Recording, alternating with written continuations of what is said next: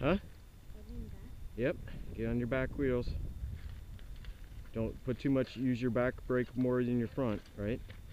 You don't wanna- Right rear. Right is always rear on a bike. Okay? Sit back. Sit back.